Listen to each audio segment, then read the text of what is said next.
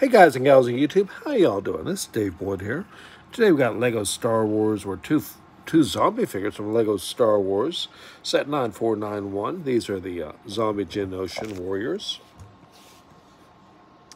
Kind of cool, rotten, torn up looking wings on this rather resilient plastic material. It's fairly flexible.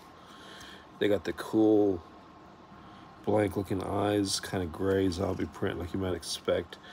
Dark, kind of grim looking. They are missing their little uh, blasters, which have a yellow stud on a wheel piece from the old Galaxy Squad days. That's a pretty scary, unpleasant looking face. I mean, I think it looks pretty good.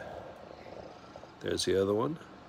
I think I need these to complete a set or something. I don't remember what it was, but I got a good deal, and he offered me the second one, so I took them both. And got their wings, which is kind of cool. They don't always have wings. You know how eBay is.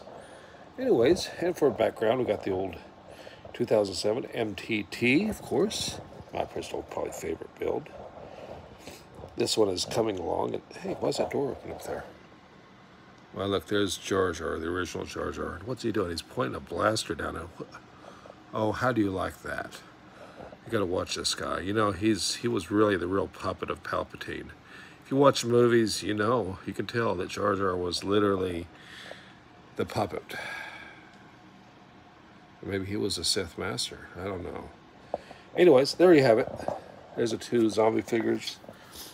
If you like this content, give me a thumbs up, give me a like, give me a follow, give me a subscription. Let me know what you think. Do you have these guys? Do you do you like that cool set? 9491? Boy, do I sound biased. Lego Star Wars Geonosian Cannon? They actually had two sets, but I think the second one, uh, 9491, is better. The other one, I think, was 2003 and had a kind of a curious battle droid. No, I had a. There's something kind of curious about it. I don't remember what the figures right off the top of my head. Anyways, y'all stay safe out there. Take care of yourselves. Until next time, ciao.